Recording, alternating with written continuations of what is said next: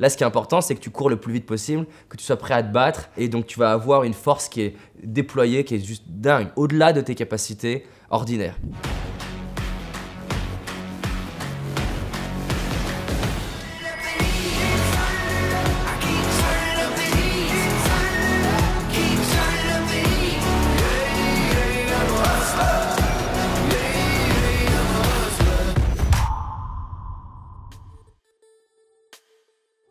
Plusieurs distinctions qui nous séparent des animaux. La plupart des animaux ne sont pas conscients, ils sont juste en réaction par rapport à des stimuli extérieurs. On a découvert qu'il y avait quelques animaux qui étaient capables d'être conscients, c'est-à-dire que du coup ils sont capables de se localiser un peu dans l'espace, ils sont capables d'avoir des pensées. C'est rare, mais il y a quelques animaux qui sont capables de faire ça. Et ce qui nous distingue de tous les animaux sur cette terre, c'est qu'on est capable d'être conscient qu'on est conscient. On est capable de penser qu'on est en train de penser. Et c'est plus que philosophique, c'est ça qui fait que l'être humain, alors qu'on n'a pas les capacités physiques les plus développées, qu'il y a des autres euh, animaux qui ont des sens bien plus forts que nous, une vue meilleure, une ouïe meilleure, de la mobilité plus grande, il y a même des animaux qui sont, euh, en termes de capacité de raisonnement, qui sont proches de ce que nous on fait, si ce n'est peut-être meilleur que nous. Mais nous, ce qu'on a, c'est la capacité à penser qu'on pense. Et du coup, ça fait de nous à la fois l'animal et le maître de l'animal. Et ça, c'est incroyable parce que le chien, par exemple, il est capable d'avoir des émotions, puisque c'est un mammifère. Les poules, par exemple, sont capables d'avoir un deuil. Il y a plein de choses très similaires à nous. Mais elles sont pas capables de elles-mêmes s'éduquer.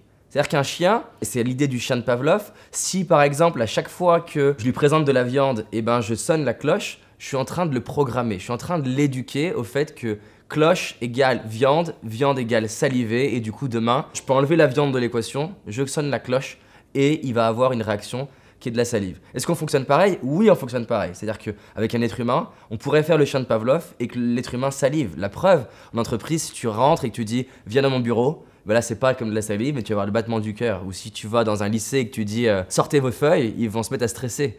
Donc il y a des ancrages comme ça qui se sont faits avec la répétition. Maintenant, ce qui est incroyable avec l'être humain, c'est qu'on est capable nous-mêmes de se créer des ancrages, de se programmer soi-même, ou de se déprogrammer soi-même. C'est-à-dire qu'on peut être l'animal et le maître en même temps. Ou une autre métaphore, ça serait, on pourrait être le bébé et le parent en même temps.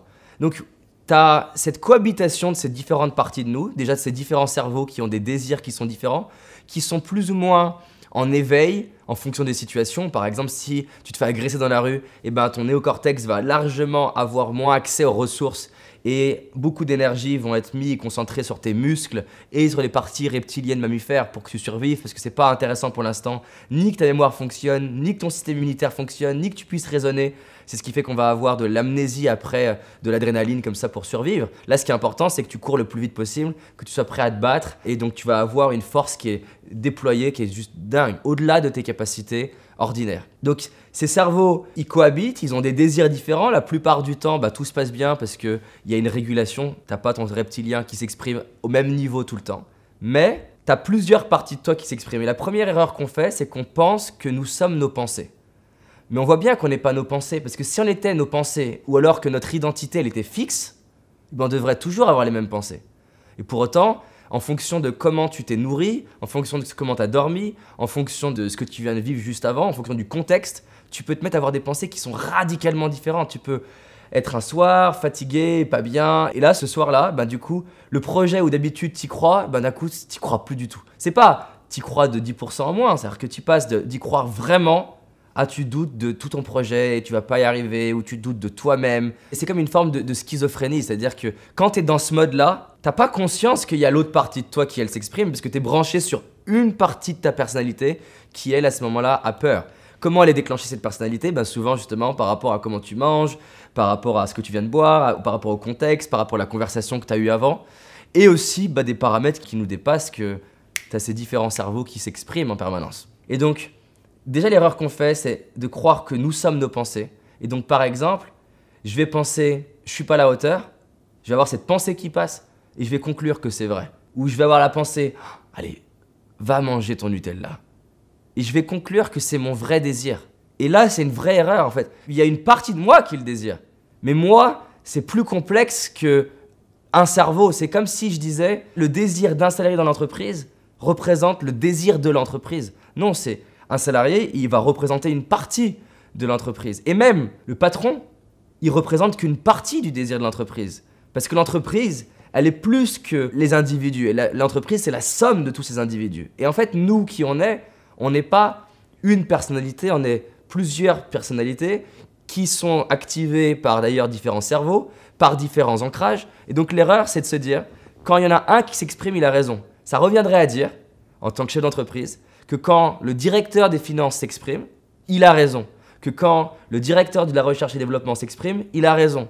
Alors qu'en fait, c'est des avis à prendre en compte et un bon patron ne va pas prendre l'avis d'une personne comme la vérité, ni d'ailleurs son avis comme la vérité. Il y a un super livre, Principles de Red et il a créé ce qu'il appelle la méritocratie, et il parle vraiment de cette idée que chaque personne dans son entreprise a un pouvoir d'expression et du coup peut jouer un rôle dans la décision finale en fonction, pour ça qu'il appelle ça non pas la démocratie, qui serait l'idée que tout le monde a le même droit de vote, ni la dictature, lui seul a le droit de vote, mais la méritocratie, c'est-à-dire que les personnes ont tous un droit de vote, mais il va être pondéré, c'est-à-dire que la valeur de leur droit de vote va être différente en fonction des résultats qu'ils ont eu avant. Et c'est ça, c'est super intéressant, d'appliquer la méritocratie à soi-même et de se rendre compte, tiens, mon directeur des finances, quand il s'agit de prendre des décisions financières, peut-être que je vais lui accorder plus de points que mon directeur RD, parce qu'ils n'ont pas la même expérience et ils n'ont pas prouvé les mêmes résultats. De même, pour ce qui est peut-être de gérer ma survie, là maintenant, eh ben mon reptilien, parfait. Et c'est légitime que je consacre de la valeur à lui parce que c'est l'héritage de millions d'années et il connaît bien son job.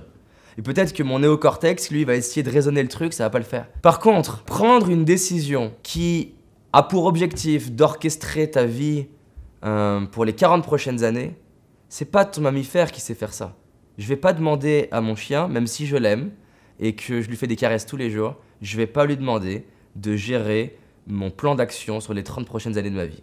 Parce que ce qui fait plaisir à mon chien à la maison quand je le caresse, c'est des croquettes tous les jours. Et si j'arrête de lui donner des croquettes, il est pas content. Et bah du coup, le problème, c'est que là, je prends l'animal qui est un vrai chien, mais c'est un peu pareil. On a ce mammifère en nous, il a ses besoins, il veut, il veut manger, il veut se sentir sécurisé, il veut se sentir reconnu, il veut se sentir rempli, il veut éviter surtout l'inconfort et l'insécurité, mais il vise très court terme. Il vise très court terme. Le chien, il n'est pas capable de se dire, tu peux pas aller voir un chien et lui dire, voilà, j'ai un plan pour toi. Si tu manges deux fois moins de croquettes aujourd'hui, tu en auras cinq fois plus pour les 10 prochaines années. Même un truc délirant qui serait de lui dire, si tu prends que 3 croquettes de moins, t'en auras 100 fois plus pour les 15 prochaines années, tu peux y aller avec le chien d'essayer de lui expliquer, c'est mort. Et en fait, ça reviendrait à vouloir expliquer à ton limbique que c'est intéressant que tu manges pas le Nutella, euh, mais lui, il s'en fout. Ça n'intéresse pas l'idée. Donc, mon propos, il est de dire quoi? L'idée, c'est pas de le faire taire, ni de le combattre, ni de penser que c'est ton ennemi. C'est ton allié dans certaines conditions. Et d'ailleurs, un PDG qui connaît bien son équipe, il sait, tiens, genre, je vais l'écouter pour telle chose, un peu plus que d'autres choses. Donc, ces cerveaux se cohabitent, et la question, c'est de devenir toi-même le maître de ta vie, et pas ces différentes parties. Pas la partie émotionnelle qui essaie de dicter ta vie, ni ton mental, comme dit Einstein. On a créé une société où on a fait de notre serviteur notre maître, en parlant du mental. On a fait de notre serviteur, notre maître, c'est-à-dire qu'on a rendu notre mental notre maître plutôt que nous être le maître de notre mental. Donc la clé c'est ça, c'est de se comporter plus en chef d'entreprise de notre propre vie et d'écouter les avis de ces différentes parties de nous et nous, eh ben, d'arbitrer comme le ferait un parent. Parfois tu vas lâcher et dire tiens mon chéri prends ta glace, ça me fait plaisir. Et parfois dire non écoute t'as fait 5 jours d'affilée en fait que t'en as pris. Et t'es pas obligé d'en vouloir à ton enfant de redemander une cinquième fois. Donc t'es pas obligé d'en vouloir à ton cerveau limbique de redemander. Parce qu'en fait, il demandera toute ta vie. Et il s'arrêtera jamais. Par contre, tu peux l'éduquer. Tu peux l'éduquer en lui montrant. Tu peux pas lui demander de comprendre avant. Tu peux lui faire comprendre avec l'expérience. Tu peux lui dire, regarde, fais-moi confiance. Si tu manges un peu moins ton Nutella, que tu fais un peu plus de sport, et fais-moi confiance, il va se passer des choses. Et que tu lui fais expérimenter que tu te sens plus léger, d'un coup, eh ben, je sais pas, tu as des hommes, des femmes qui sont plus attirés par toi, tu as des opportunités qui arrivent. Là, d'un coup, ça va être plus facile de discuter après avec ton limbique, de lui dire Regarde, la dernière fois, on a fait attention, voilà les nouveaux bénéfices qu'on a tirés. Mais il faut pas avoir l'illusion de penser que tu vas manger 10 ans du quinoa dans ta vie et que dans 10 ans, on te propose quinoa Nutella et que ton cerveau limbique va dire quinoa. Il y a des grandes chances C'est pas impossible, hein, mais il y a des grandes chances que pour la plupart des gens, je parle à la base si t'aimais le Nutella, vraiment t'adorais ça. Je parle pas dans la case où t'en as tellement mangé que t'es dégoûté ou alors qu'on a créé une association Nutella égale mort, ce qui est autre chose et qui serait une stratégie en soi de coaching. Mais si t'as pas fait ça et que tu t'es juste discipliné toi-même, ben t'es toujours de base l'imbique qui disent allez le Nutella. Et la clé c'est pas de dire c'est mal, parce qu'on va souvent avoir des méthodes de coaching qui diabolisent du coup tout ce qui est court terme. Mais je peux pas dire si c'est mieux en fait après c'est un, du coup c'est un choix personnel. J'aime beaucoup cette idée de independent thinker. On pourrait le traduire comme penseur libre, mais je trouve que dans ma tête en tout cas ça résonne pas exactement cette même idée. En tout cas l'idée de, de quelqu'un qui organise lui-même sa vie, qui du coup assume les conséquences de ses choix, questionne les croyances qui lui ont été transmises par la société, ses parents et ses propres expériences et donc j'invite les gens à être des penseurs libres et de se dire tiens, peut-être que là, mes comportements vis-à-vis de la nourriture, ou vis-à-vis de mes dépenses, ou vis-à-vis de ma manière d'utiliser l'argent, ou mes réactions par rapport à ce qui se passe, en fait, c'est pas, pas vraiment les miennes. C'est juste la conséquence de comment on m'a programmé. Et je vais du coup me déprogrammer, remettre en question, pas tout, il ne s'agit pas d'être dans le délire. Et tout en m'autorisant à me dire, bah en fait, j'ai envie de dépenser de manière compulsive et je le fais. Ou j'ai envie de me prendre ce café et je le fais. J'ai envie de vivre mon expérience. J'ai conscience que c'est à la base très court terme, mais je le fais.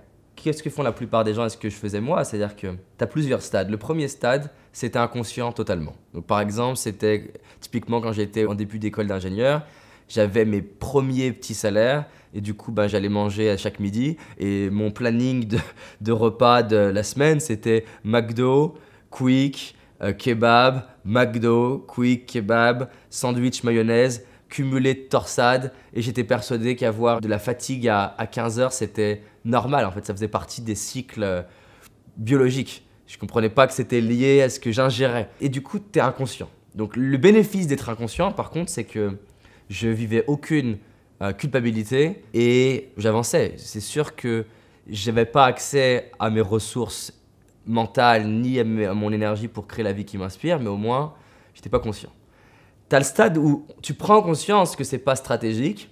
Et généralement, c'est une phase qui est inconfortable parce que tu as encore tes programmes, tu as encore tes habitudes, tu as encore tes réflexes. Et souvent même, tu as encore ton entourage et tes amis qui ont eux leurs réflexes. T'as pas vu le bout du chemin, donc t'as pas vu les bénéfices d'un nouveau fonctionnement, mais tu as la connaissance. Et c'est pour ça que la connaissance, souvent, ça fait mal. Parce que tu as juste l'information. Et en plus, tu as du mal à oublier. Donc souvent, une fois que tu as la connaissance, la stratégie que tu utilises, c'est passer par l'inconscient et c'est ce qui fait par exemple que tu es sur ton canapé et tu as envie de manger du Nutella et là tu vas avoir le, combat conscient-inconscient qui s'opère et d'un coup la partie, une partie de toi qui va te mettre dans une forme d'amnésie, dans une forme de j'ai plus accès à ma mémoire, tu commences à manger le pot de Nutella et là en fait c'est comme si le limbique prenait le dessus et t'es plus capable de raisonner, t'es plus capable de réfléchir, c'est l'animal, c'est comme le chien à qui tu donnes une gamelle et qui arrive même plus à t'écouter et lui dire stop parce qu'en fait, c'est vraiment je dois me remplir. Et généralement, t'arrives au bout du paquet de Nutella ou enfin au bout du pot de Nutella, au bout du paquet de chips et c'est à ce moment-là que le cerveau réveille et tu dis merde, qu'est-ce qui s'est passé? T'as même pas eu de notion du temps, t'as pas vu le temps qui s'est écoulé. La stratégie généralement qu'on utilise quand t'as la connaissance mais que t'as pas encore transformé vraiment, c'est de passer par l'inconscient en fait. C'est-à-dire tu continues de le faire, et le meilleur moyen que tu fais, c'est de le passer par l'inconscient. Mais vu que tu redeviens conscient après, par contre, tu tapes toute la culpabilité. Tu as les mêmes comportements, voire pire qu'avant, parce que du coup, tu es dans une forme de c'est pas bien, et interdiction égale compulsion, tu te dis faut pas que je le touche, donc quand tu le touches, tu exploses ton paquet de chips.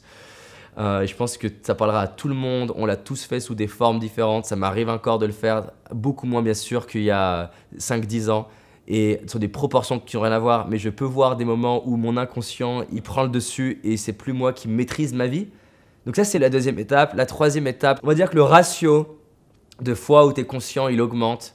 Et donc tes comportements, ils n'ont pas forcément changé, mais là, du coup, tu vas aller beaucoup moins loin. C'est-à-dire que tu n'as pas besoin d'arriver au mode trop pour être conscient. Donc là, tu es en train de manger le Nutella et tu es conscient d'être en train de le manger. Et ça, c'est une vraie victoire c'est souvent douloureux parce que tu te vois être en train de faire le truc. Mais c'est ce que je disais tout à l'heure. Tu es conscient que tu es conscient. Et là, tu passes en mode maître. C'est-à-dire que tu passes pas maître dans le sens maître esclave, hein. maître dans le sens maître de l'animal ou maître dans les arts martiaux, c'est-à-dire dans le sens éducateur, dans le sens parent. Et ça, c'est la victoire. Tes comportements sont peut-être pas encore changés complètement, mais tu es capable d'avoir conscience pendant que tu le fais, que tu es en train de faire quelque chose. Et c'est le seul moyen que ça change. Parce que là, ça veut dire que le maître vient enfin de se réveiller en toi et tu vas pouvoir prendre le lead. T'es plus un animal en fait. Et c'est une vraie victoire. Et c'est pour ça qu'avec les gens que j'ai en coaching, je les fais célèbre quand tu arrives à être là. Au moins 50% du boulot il est fait, même si ça se voit pas encore. On a tous vécu sur des exemples même plus simples. Par exemple, mes parents sont nés en Haute-Marne et en Haute-Marne, les gens disent il faut que j'aille au lieu qu'il faut que j'aille. Et vu que j'ai eu deux parents au Marnais, j'ai vécu à Lyon et je pense que soit les gens n'ont pas tilté, soit les gens n'ont pas osé me le faire remarquer, mais du coup j'ai eu toute mon enfance à Lyon où j'ai dû certainement dire des centaines de milliers de fois il faut que, parce qu'en plus c'est un terme quand même qu'on utilise souvent, j'ai certainement dit il faut que j'aille des centaines de fois, sauf que j'ai commencé ma chaîne YouTube et faire mes conférences, et un jour j'ai eu un commentaire hyper agressif de il faudrait que tu apprennes à parler français, et on dit pas il faut que j'aille, on dit il faut que j'aille, et sur le coup je me dis mais n'importe quoi, mes deux parents ils disent ça, et mes parents s'expriment relativement bien, et je me suis dit n'importe quoi et j'ai fait mes recherches et suis dit oups, c'est euh, effectivement pas français. C'est en tout cas c'est c'est français qu'en Haute-Marne. Mais entre le moment où j'ai compris, là j'avais la connaissance, et le moment où j'ai réussi à le changer, il s'est coulé du temps. C'est-à-dire que pendant longtemps, je le disais, c'était les autres qui me disaient David, tu le dis encore. Puis à un moment donné, victoire, je m'en rendais compte après. Donc culpabilité, parce que je veux dire, ah encore, je l'ai encore dit.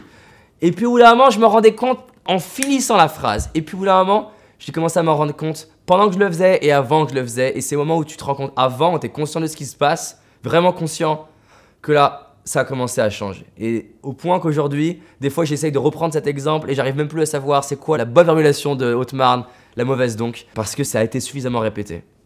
Donc voilà, prendre conscience, c'est une clé pour arriver à transformer ta vie. C'est-à-dire, la clé, c'est pas de t'interdire les choses, la clé, c'est de pouvoir manger ce Nutella en conscience. La clé, c'est de pouvoir avoir les comportements que tu as d'habitude en conscience. C'est comme la colère.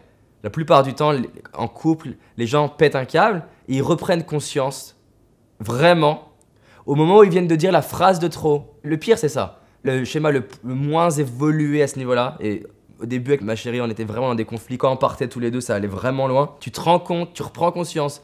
Quand tu viens de dire la phrase de trop et tu vois dans le non-verbal de la personne que t'aimes que tu viens vraiment de la blesser. Et sa douleur, te fait vivre de la douleur, et du coup, tu reprends conscience et tu fais merde, qu'est-ce que j'ai fait?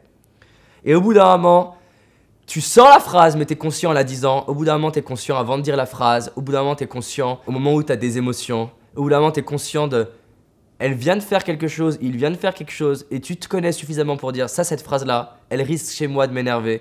Et du coup, tu te dis tiens, ah, je viens de tendre mon ventre, tiens, je viens de me tordre, tiens, je viens d'arrêter de respirer et tu prends conscience de la stratégie que tu utilises pour t'énerver, qui est par exemple d'arrêter de respirer, te replier sur toi, commencer à te dire mais pourquoi elle m'a dit ça plutôt que de le lui demander, et de commencer à distordre et de la critiquer. Et là, d'un coup, tu deviens conscient en fait, tu deviens conscient de tout ce qui se passe, et tu te dis ok, elle vient d'appuyer sur un truc qui n'a rien à voir avec elle, qui a à voir avec mon histoire, quand elle dit ça, ça me rappelle ma mère par exemple.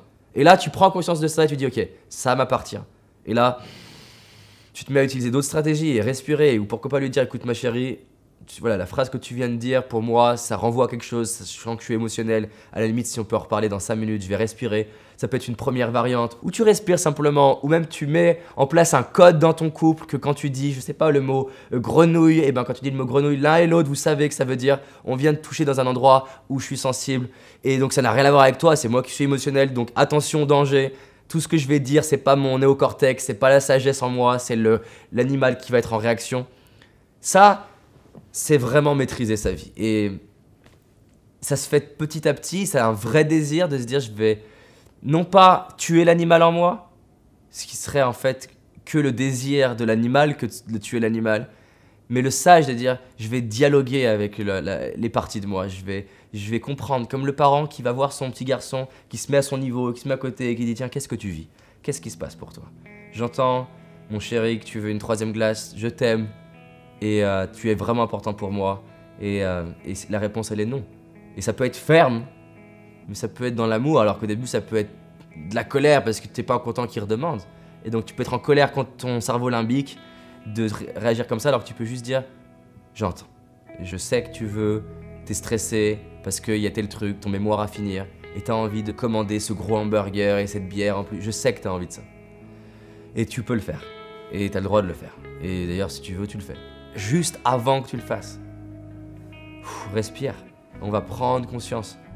Est-ce que ça a du sens? Est-ce que ça a du sens de faire ça? Pour toi. Et peut-être que ça en a. Peut-être que ça a du sens là de, bah, de juste décompresser, prendre ce hamburger et cette bière.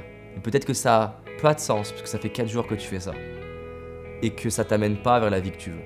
Et que dans 10 ans, bah, les, tous les hamburgers cumulés, c'est pas ça qui t'inspire. Ça m'est jamais arrivé de voir quelqu'un qui est heureux et inspirant et je dis alors qu'est-ce qui fait que ta vie elle est si magnifique? Et qui me disent waouh les, les 1500 hamburgers que j'ai pris vraiment ça a rempli ma vie. J'ai jamais rencontré quelqu'un me dire ça. J'ai pu rencontrer des gens qui me disent ce jour-là, à cet instant, dans ce contexte-là, ce hamburger, cette bière et ce fondant, dans ce contexte, a rendu le moment magnifique, mais c'est pas le hamburger en fait, c'était, c'était le contexte, c'était ce jour-là. En fait, ce que j'ai vu et ce que je vois la plupart du temps, c'est ce qui m'inspire, c'est que je regarde d'où je pars et je vois que j'ai changé ma vie. Je vois que j'étais mal dans ma peau et j'ai osé parler à des inconnus. Je vois que je rêvais de créer une association, mais je me disais que je n'étais incapable et je l'ai créé. Je rêvais d'apprendre le piano et depuis 20 ans je me disais non mais de toute façon c'est n'importe quoi du piano, je peux pas apprendre le piano comme ça.